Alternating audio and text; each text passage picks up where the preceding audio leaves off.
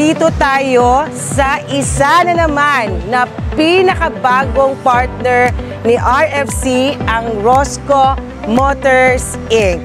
And here with us today is the sales executive of Rosco Lapu-Lapu branch, si Miss Rosel Serna. Hi, Ma'am Rosel. Ito po siya, Ma'am Rosel. Ano po to siya?